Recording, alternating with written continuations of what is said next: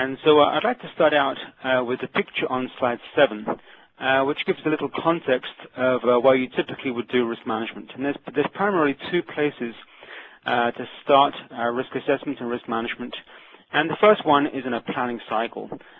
when you're doing a project of any kind, whether it's an agile or a waterfall or a spiral project, there's a planning activity in there somehow.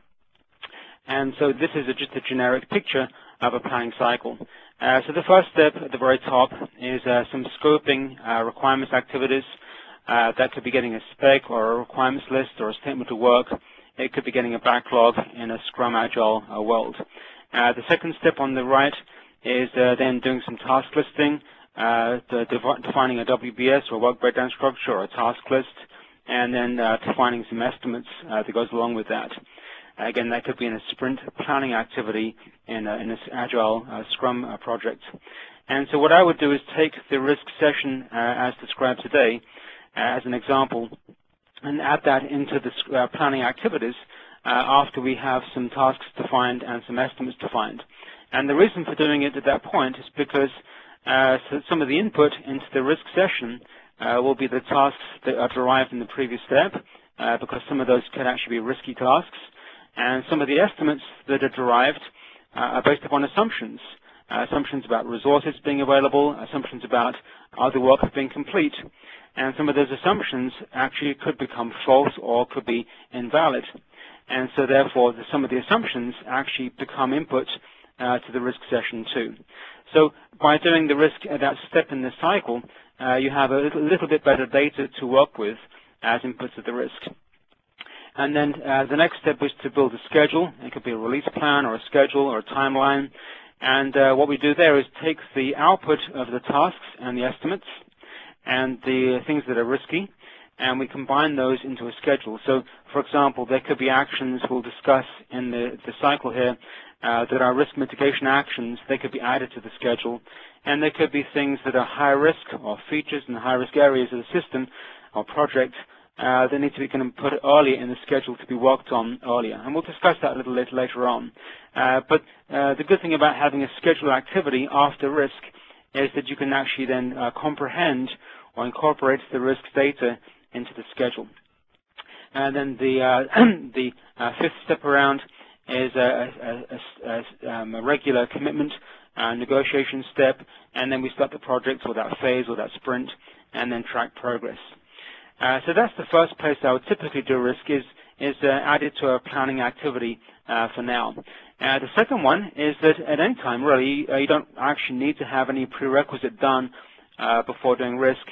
you could put the phone down at the end of the session and then meet with your team and then run, run the risk session just the way, just in the way described in the, in the session today, and it would work fine. But the next time you do planning, uh, you may want to then add the risk to the planning cycle uh, to give a little, little bit better input uh, to the risk session. So uh, next slide is going to be on the uh, little definition of risk. Uh, for the purpose of today's discussion, basically it's anything negative that could occur. if it's guaranteed to occur, it's a, it's a, problem. It will go into a problems list or an issues list. but if it's not guaranteed, then it's a risk. It's a potential problem. And so in this picture on slide 8, uh, we have a patient and he or she is there because they have a problem, uh, for example, broken leg or some uh, uh um, uh, malady. Uh, but they also have outstanding risks. things could occur downstream that have to be assessed and mitigated. they could have an allergic reaction to drugs. They could have an infection problem from the hospital to pick up an infection. they could have health insurance issues too. And so although they, they have a problem, which is kind of why they're there, uh, there really are things that could go wrong that could be traumatic uh, that have to be assessed and then mitigated, or if they have that problem and the risk becomes a problem, uh, there should be a backup plan in place to, uh, to deal with that. So the four steps uh, we'll go through uh, are basically to identify risk, top left, top right, analyze risk, uh, because there's typically more issues or more risks in the list uh, than you can work at one time. So we have to analyze and determine where to go focus. And then the bottom right, uh, plan to mitigate. Uh, we'll discuss two uh, levels of planning. One is to avoid the risk, and then secondly, to be prepared as a backup plan if the risk becomes actually a problem. And then we'll discuss at the very end uh, where you would typically add a risk review into the cycle of a project to kind of keep on top of the risk list and look downstream further, again, uh, for new risks that may be occurring. And I'll explain the basic time frame of doing this too as we go through, uh, so you have a, a, rough idea of how much time to spend doing this. Uh, I would say to begin with on a project uh, that could be five to ten people, and you may have uh, six months to a year worth of work to do. Uh, the whole cycle should be about two hours, an hour and a half to two hours. And if you have a much smaller project, maybe a couple of people and a few months, uh, the whole cycle could be uh, an hour or less. And so I'll explain uh, some example timeframes for the steps as we go through.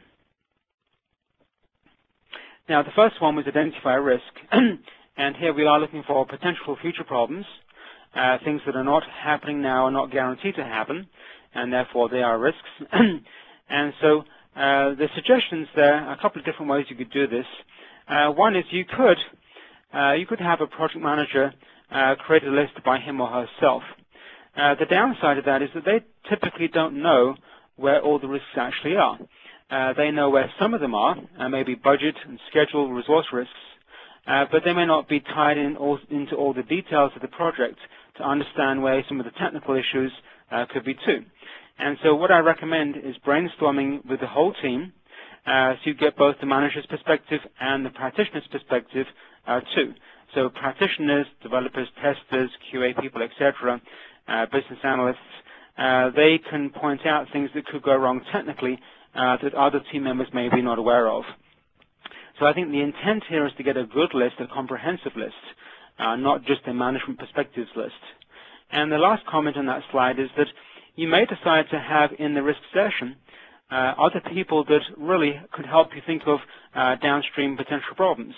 Uh, maybe there are people that have done work like this before in the organization, and you can tap them for half an hour to come up with a list, a list of risks. Uh, there could be ex uh, technical experts in the field you have access to. And if you think about what risk is, uh, risk is a uh, downstream looking activity. And if you actually invite some of your downstream uh, champions or your recipients of your work, uh, they can help you think of risks too, uh, because the problems you are causing for them uh, could be assessed in this risk, risk session uh, by having those downstream people involved in the session at this point. So do be uh, flexible about the kind of people you invite to the risk activity uh, because it may help you think a little bit more globally uh, globally about the things that could go wrong uh, downstream and today on the project. So when you uh, do risk assessment, typically you're going to have these type of issues being looked at in the list. Uh, weak areas, uh, such as unknown technology, this may be new uh, or new to the field or new to the team, uh, like a development tool or a target machine. Again, because it's new, there are unknowns that you're not aware of, and that means it makes it risky. And that could be a, an example of what would go into a risk list in the brainstorm. Uh, things that are critical are extremely important to the effort. If you look at your task list of your project, and you see some steps in there which, if they uh, don't get done correctly, uh, could cause problems downstream. Those tasks themselves could be flagged as a risky task in the risk list. So, for example, uh, often companies that do or software systems, uh, they have a translation activity uh, from an old version of a database to a new version, or an old data type or kind of data format to a new type. And uh, some aspect of the project is uh, translating or uh, running a translator to take old data and create new data out of that. And if that little step of the translation actually breaks or has a problem, there could be a major impact downstream on the project and the quality of the data at the end. So looking through the task list of the project, you may identify